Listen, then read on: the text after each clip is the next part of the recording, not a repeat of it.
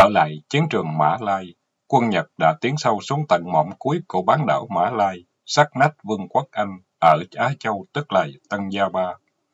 Ngày 7 tháng 1, tướng Wavell, chỉ huy trưởng toàn vùng, ngồi trên một chiếc phi cơ cất cánh từ bộ chỉ huy ở Bang Đông, thuộc Java đến thị sát sơ lược tình hình Tân Gia Ba. Đêm qua, 15 xe tăng Nhật đã vượt qua khỏi phòng tuyến của sư đoàn 11 Ấn Độ và xuyên qua chiếc cầu chiến lược trên sông Slim, cách Tân Gia Ba 250 dặm đường chim bay. Không có được một lực lượng đồng minh nào đối đầu ngăn cản bước tiến của họ. Một lý do đơn giản mà các nhà quân sự chuyên môn đưa ra để bào chữa cho sự im lặng đến nhu nhược này là vũ khí trang bị ở đây không thích hợp cho chiến trường rừng núi. Wavell tiếp tục về phía Bắc để tìm quân đoàn 3 đang bị xáo trộn và sư đoàn 11 Ấn Độ gần như bị tan rã, để tra lệnh cho họ gom góp tàn binh, củng cố lại lực lượng rút toàn bộ về tỉnh Johor, cách đó khoảng 150 dặm, nơi mà Đại tướng Gordon Bennett cùng những quân nhân Úc Đại Lợi đang cố gắng thiết lập căn cứ cố thủ để ngăn bước tiến của Nhật. Sắp đặt công tác xong, Wavell liền trở lại Tân Java Ông đến thị xã Khương Bắc hòn đảo. Nơi đây vốn là một khu rừng rậm mênh mông, và ông rất đổi ngạc nhiên khi không nhìn thấy có một căn cứ nào hoặc dấu hiệu gì của sự bố phòng ngăn chặn mũi tiến công đến từ đất liền. Sau khi quan sát tất cả chung quanh những căn cứ phòng thủ ở Tân Gia Ba, quay vào kinh hoàng khi nhận thấy tất cả những ụ súng cối được đặt ở vị trí cố định quay ra hướng biển nghĩa là chỉ phòng thủ duy nhất có một mặt tấn công. Nhưng hiện tại thì quân Nhật tràn xuống bằng đường bộ. Những ụ súng đại bác mà quân đội của ông đã tin tưởng dựa vào hỏa lực của nó, bây giờ đương nhiên mất hết tác dụng. Thủ tướng Churchill chết lặng người khi nghe tướng Wavell báo cáo những gì mà ông Hằng tin tưởng là thành trì kiên cố, lũy sâu hào rộng, vũ khí tối tân.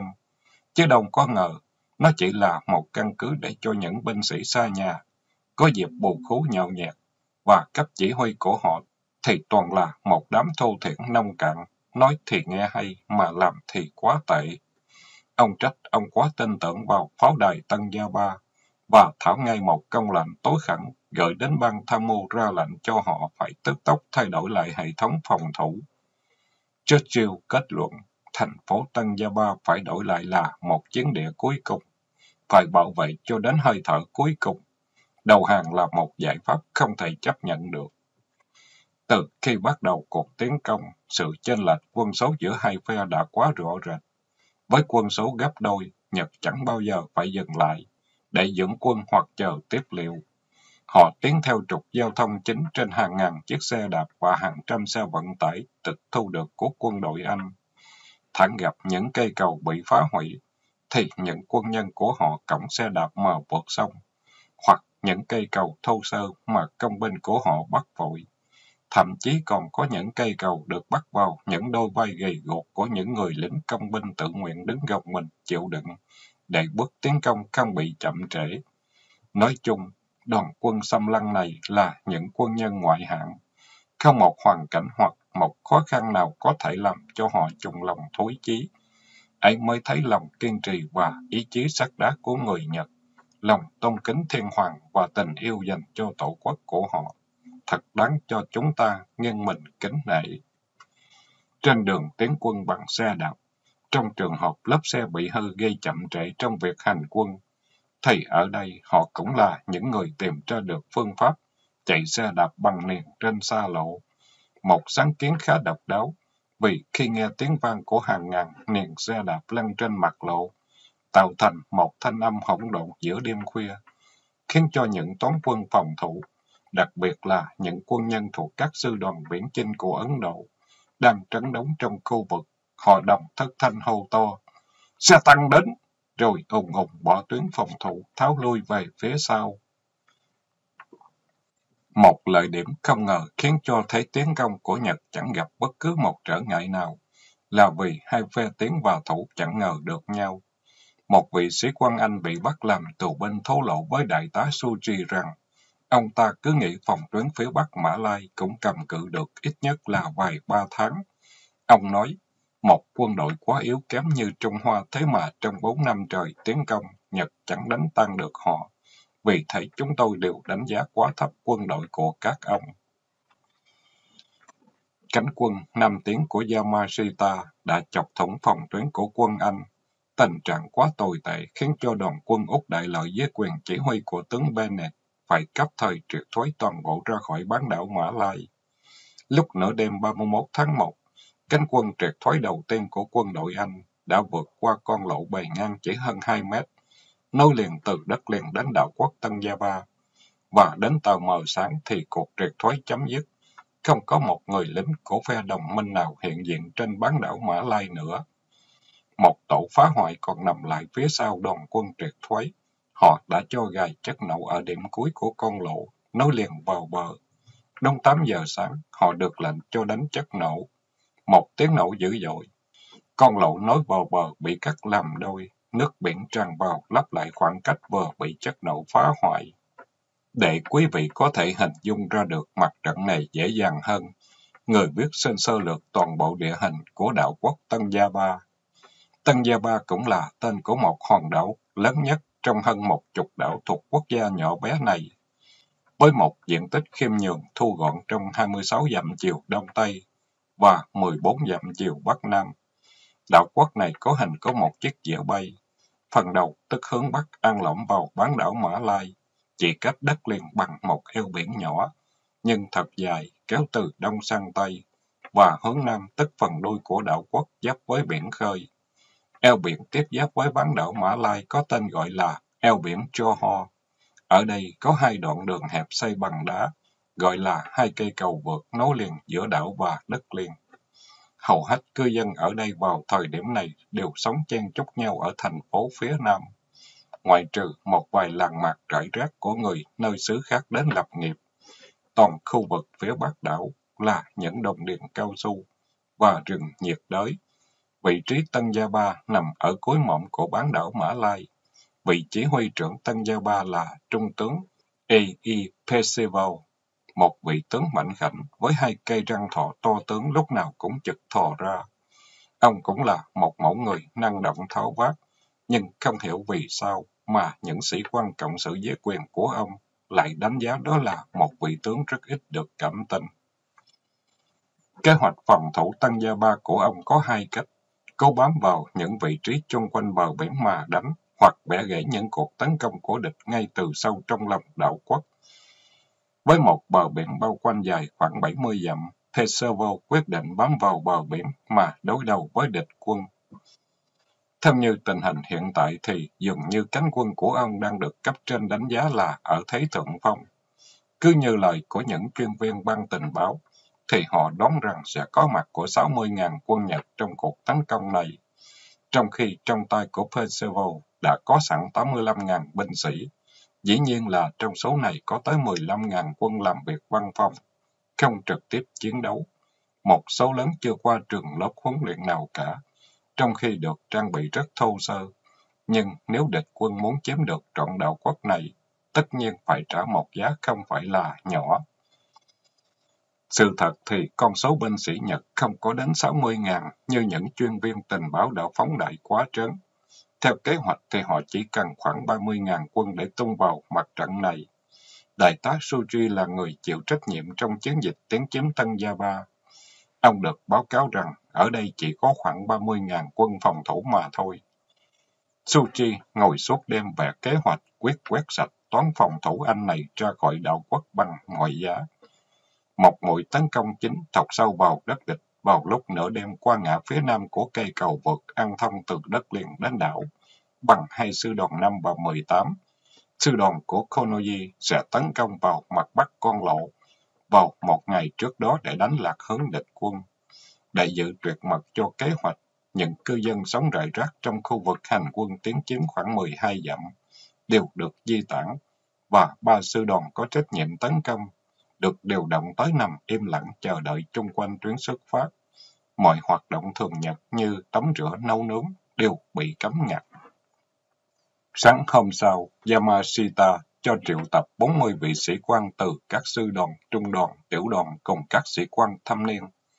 vào một khu đồng điện cao su gần đó để ban một vài mật lệnh hành quân, và cuối cùng thì nâng ly chúc mừng chiến thắng. Hào khí dân lên ngất trời. Có một vài vị sĩ quan sau một vài ly chén choáng đã hô to. Đây là một nơi thật lý tưởng để được đành nợ nước. Yamashita cho thiết lập ngay một phòng chỉ huy hành quân trong khuôn viên có một lâu đài tọa lạc ngay trên đồi cao. Có tầm nhìn rất rõ về hướng mũi tấn công, tức là vị trí của cây cầu vượt. Đây là một tòa lâu đài cổ được xây dựng từ hồi thế kỷ 19, cao 5 tầng, và bộ chỉ huy dành tầng cao nhất để dễ bày quan sát mặt trận. Đây có lẽ là một vị trí lý tưởng nhất mà bộ chỉ huy hành quân đã chọn lựa. Lại một lý do nữa khiến cho Yamashita quyết định chọn lâu đài này, vì ông biết người Anh nghĩ ông đâu có khùng điên gì mà chọn một điểm nổi bật, một mục tiêu oanh kích quá dễ dàng để làm tổng hành dinh.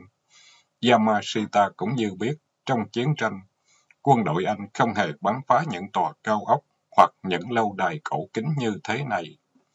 Qua những ngày sau, xe lửa và hơn 3.000 xe vận tải đã chuyển đến những khẩu đại bác, cùng đạn dược và tiếp liệu. Hàng trăm thuyền xếp và tàu nhỏ dùng vào việc hành quân đổ bộ được ngụy trang khéo léo và bí mật chuyển đến dấu ở những cánh rừng hoang vu dọc theo bờ biển gần điểm xuất quân. Đúng lúc hoàng hôn vừa đổ xuống, ngày 7 tháng 2, sư đoàn của Konoji được lệnh rời tuyến xuất phát, với chủ định là gây sự ồn ào, náo nhiệt trong chuyến hành quân đánh lạc hướng quân địch. Cánh quân xuất phát rầm rộ với 20 tàu đổ bộ, chở 400 binh sĩ và hai khẩu sân pháo, tiến chiếm một hòn đảo nhỏ nằm trong eo biển, nơi có thể quan sát rất rõ căn cứ Selata và cứ điểm Changi. Trạng sáng hôm sau, pháo binh bắt đầu khai hỏa vào các cứ điểm của quân Anh.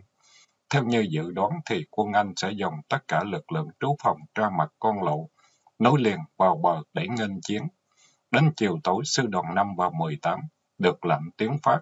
Họ khiêng những chiếc xuồng con và phải vượt qua một đoạn đường hơn một dặm để đến eo biển. Khi họ vừa đến bờ biển, thì những hỏa lực của pháo binh đều tập trung và đồng loạt khai hỏa. Mục tiêu đầu tiên mà họ chiếu cố là những kho dầu xăng khổng lồ của căn cứ hải quân Anh. Mục đích của Nhật là muốn phá hủy tất cả kho dự trữ xăng dầu của địch quân, để cho họ không thể sử dụng để đánh hỏa công gây khó khăn cho quân tấn công. Quân Nhật đang tập trung để dùng xuồng ghe vượt biển tấn công Tân Gia Ba và phía tiến của họ lại ở phía dưới gió. Nếu quân Anh đổ dầu xuống biển và đốt cháy sẽ gây tổn thất cho Nhật rất nhiều. Vì thế mục tiêu đầu tiên phải thanh toán là các kho chứa xăng dầu của Anh quốc. Sau đợt pháo kích đầu tiên kéo dài hàng tiếng đồng hồ thì họ lại ngưng và bắt đầu đợt pháo thứ hai. Tất cả hỏa lực đều rót vào những hầm hố, hàng rào nằm dọc theo con đường ăn thông của cây cầu vượt, nơi mà cánh quân tấn công chính sẽ vượt qua nó. Đúng 10 giờ 30, đợt tấn công đầu tiên với gần 4.000 binh sĩ trên 300 thuyền xếp, thuyền phao và xuồng bắt đầu vượt eo biển xung phong về phía hải đảo Tân Gia Ba. Pha lặng trong tiếng đại bác trầm trú vang trời ấy, người ta còn nghe được tiếng động cơ từ xa vang lại. Đó là một hạm đội nhỏ đang di chuyển nơi vùng biển phía bắc Tân Gia Ba. Là cánh quân phòng thủ Úc Đại Lợi với quân số khoảng 2.500 người. Từ trên tầng thứ năm của lâu đài, nay là bộ chỉ huy mặt trận tạm, tướng Yamashita và ban tham mưu có thể nhìn thấy được những diễn biến của trận tiến công. Hình ảnh trước mắt, toàn cảnh Tân Gia Ba như đang chìm vào biển lửa khủng khiếp. Mười phút sau, một tín hiệu màu xanh được bắn lên không.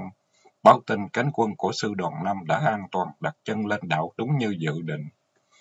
Cánh quân đầu tiên vừa đặt chân đến bờ biển, ngay cuối con đường Liêm Chu Khang, thì bị khựng lại vì đụng phải sức phản kháng mạnh mẽ của tiểu đoàn số 24 Úc Đại Lợi. Một cánh quân đổ bộ khác tiến về phía rừng nước um tùm và nơi đây họ chỉ gặp những ẩu kháng cự yếu ớt.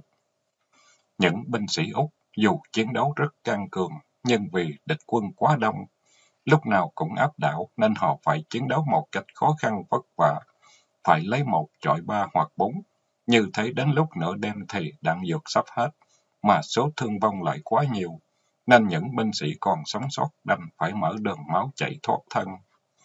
Lúc trời chưa sáng hẳn thì đã có đến 20 chiếc xe tăng cùng bộ binh tùng thiết đã được vận chuyển đến và kế đó là hơn 15.000 bộ binh cùng vài khẩu đội pháo cũng lần lượt cập bến. Từ bộ chỉ huy trên tầng thứ năm của lâu đài, tướng Yamashita quan sát những đứa con của ông băng ngang rừng cao su để hướng về phía sân bay Tenga, nghĩa là cánh tiền quân của ông chỉ còn cách thành phố Tân Gia Ba không đầy 10 dặm đường chim bay. Chiều hôm ấy, Yamashita rời bộ chỉ huy tạm, nơi lâu đài để cùng bộ tham mưu xuống một chiếc bè được kết lại bằng ba chiếc thuyền, vượt eo biển Johor sang Tân Gia Ba. Cũng trong ngày này, tại bộ chỉ huy ở đảo Java, tướng Wavell quyết định bay sang Tân Gia Ba thị sát tại mặt trận. Lúc này, Nhật hoàn toàn làm chủ vòng trời Tân Gia Ba, nên phi công không thể nào tiến sát vào mặt trận được. Nhưng đến hôm sau thì do sự dũng cảm và gan dạ của một viên phi công dày dặn kinh nghiệm, họ đã vượt qua khỏi hàng rào phòng không dày đặc của địch và đáp an toàn nơi bộ chỉ huy của tướng Percival, nơi phía nam của đảo Tân Gia Ba.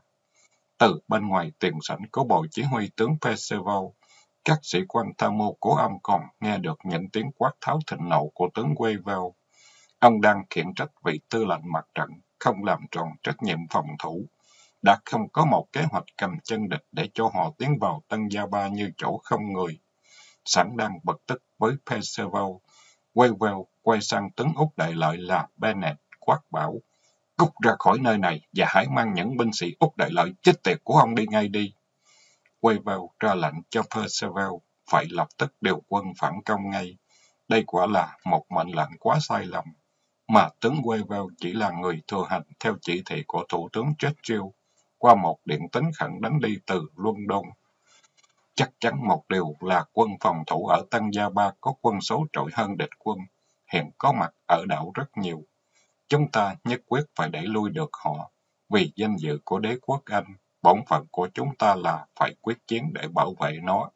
Hoa Kỳ vẫn bám bán đảo Ba Tăng để chờ cơ hội phản công. Liên Xô đang lật ngược thế cờ ở châu Âu, và người Trung Hoa, dù với chiến cụ thô sơ, họ cũng cầm chân địch được hơn bốn năm ròng. Chúng ta không thể nào chùng bước trước sức tiến vũ bạo của địch. Chúng ta không thể nào chịu nhường lại một pháo đài từng là niềm kiêu hãnh của quân đội Anh ở Tân Gia Ba cho kẻ thù, đặc biệt là một kẻ thù thấp hèn vô danh tiểu tốt như bọn Nhật Bản. Bằng mọi giá phải giành lấy chiến thắng, dù có hy sinh đến người lính cuối cùng cũng chịu.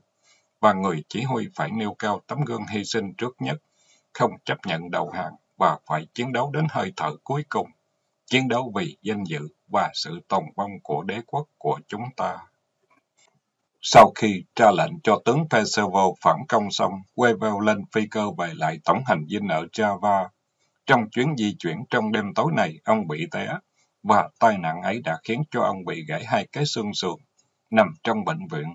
Wavell đánh một bức điện tín về cho Thủ tướng Churchill. Trận chiến ở Tân Gia Ba sẽ gặp nhiều trở ngại. Sức chiến đấu của một phần lớn binh sĩ ở đây thật quá tồi. Tuy nhiên, mọi công tác phòng thủ và phản công đã được chuẩn bị, hầu nâng cao tinh thần chiến đấu. Hiện tại thì họ có vẻ lạc quan hơn, nhưng tôi cũng khó mà lường trước những gì có thể xảy ra. Tôi đã ra lệnh cho họ là phải tự chiến để bảo vệ Tân Gia Ba và sẽ không chấp nhận đầu hàng với bất cứ hình thức nào. Cho đến khi bình minh hôm sau thì Nhật đã làm chủ một nửa đảo và một căn cứ chiến lược quan trọng mang tên Bukit Tamak. Căn cứ này được thiết lập trên đỉnh núi Thiên, một đỉnh núi có độ cao nhất trên toàn đảo. Cánh quân tiền sát của Nhật bây giờ đang tiến dần về phía trường đua ngựa, tức là họ đã xâm nhập vào được sát nách thành phố Tân Gia Ba rồi. Tuy nhiên, đại tá Suchi cũng phải cẩn trọng, cho quân tiến rất chậm, vì bắt đầu đã có sự xuất hiện càng lúc càng nhiều những ẩu kháng cự mạnh, kèm theo hỏa lực pháo của địch, cũng càng lúc càng tăng, và mục tiêu pháo rất chính xác. Suchi cảm thấy hỏa lực của địch càng lúc càng mạnh lên nhiều, nếu không muốn nói là vô tận, trong khi đạn dược của cánh quân ông chỉ huy thì sắp cạn. Bây giờ ông mới vỡ lẽ là tin tình báo chắc chắn là không được chính xác. Hoàn toàn vì con số 30.000 quân trú phòng mà họ tiên đoán có thể sự thật còn lên đến gấp đôi hoặc gấp ba hơn thế nữa.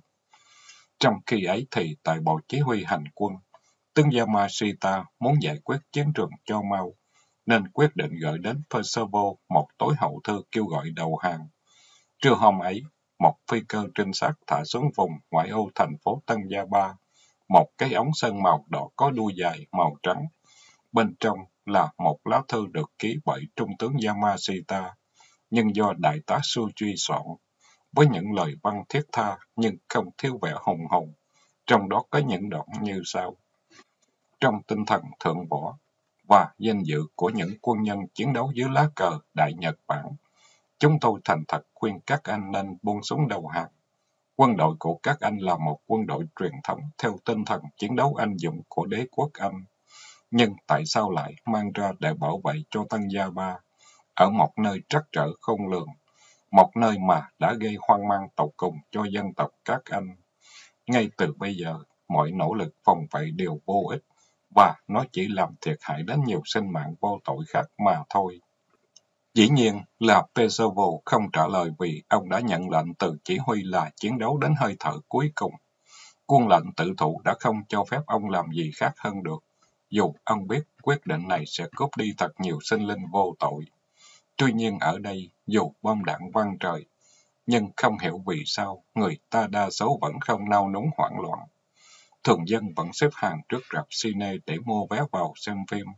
Khách sạn Raffle vẫn nộp nộp khách ra vào. Vài sĩ quan tham mưu ung dung ngồi uống rượu khề khà. Có ai đó dùng phấn viết lên bức tường dòng chữ. Nước Anh của người Anh, nước Úc của người Úc. Nhưng nước Mã Lai thì cho bất cứ quân khốn nạn nào nếu họ muốn. Có nhiều nhóm quân nhân đổ dòng xuống những đại lộ tiến về phía thành phố. David James, một nhân viên tình báo chặn một tốp lính Ấn Độ để hỏi vị chỉ huy của họ. Lý do di chuyển ngược trở vào thành phố, thay vì phải quay ra vùng ngoại ô để ngăn giặc. Và anh được vị chỉ huy này trả lời rằng, sĩ quan Úc Đại Lợi khuyên chúng tôi nên chạy trốn vì quân Nhật đã tràn ngập phía trên đồi rồi. xem nghe mà giật thoát cả người. Quân nhân mà đánh đấm cái kiểu này thì chết rồi. Anh trách nhẹ người chỉ huy cánh quân Ấn. Các anh là quân nhân thì phải tìm giặc mà đánh, cứ sao lại phải chạy khi qua họ chưa tới. Viên chỉ huy trùng vai và nói, biết sao đây, có ai muốn nằm lì ở một nơi mà họ không thích chứ? Nói xong, hắn quay người chạy nhanh để bắt kịp đồng đội. Hiện tại thì vẫn còn nhiều đơn vị Úc vẫn chiến đấu quyết liệt khiến những đơn vị tiến công của Nhật phải khó khăn lắm để diệt từng toán một trước khi xâm nhập vào thành phố. Nhiều đơn vị của Úc còn sống sót sau những cơn bão lửa kinh hồn. Họ đều mất hết tinh thần chiến đấu. Một vị chỉ huy lắc đầu than. Hải quân cũng bỏ chúng ta và không quân cũng bỏ chúng ta nốt. Nếu những binh sĩ bản xứ không chiến đấu cho quê hương của họ, thì tại sao chúng ta phải ra sức chiến đấu và chết thay cho họ chứ? Rồi tiếp theo là sự tháo lui mất trật tự. Thành phố Tân Gia Ba bị bỏ ngỏ hoàn toàn. Tướng Percival ra lệnh thiết lập khẩn một hàng rào phòng thủ mới, nằm ngay trong thành phố. Nhưng sự cố gắng này đã mất hết tác dụng vì quân Nhật đã tràn vào như nước vỡ bờ. Ngày 13 thứ sáu là một ngày đen tối nhất cho cấp chỉ huy phe phòng thủ ở Tân Gia Ba. Họ đã bị địch bao vây chặt cứng. Trong tình hình tuyệt vọng như thế, nhưng Wevel vẫn hạ lệnh cho họ phải tử thủ, chiến đấu đến cùng càng gây nhiều thiệt hại cho địch càng tốt.